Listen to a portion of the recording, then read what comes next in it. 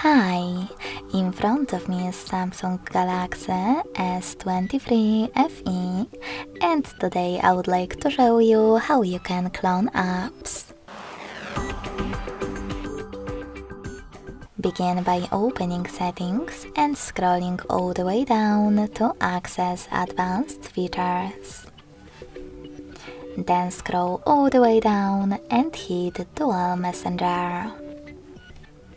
Finally, just click on the gray switcher next to one of your apps that you wish to clone and confirm your choice in the pop-up.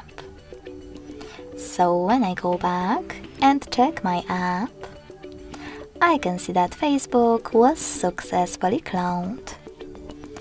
In order to delete this clone, go back to the same settings and click on the no blue switcher next to your app.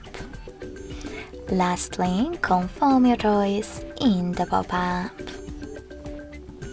Thanks so much for watching. If you enjoyed this video, don't forget to leave a like, comment and subscribe. Bye!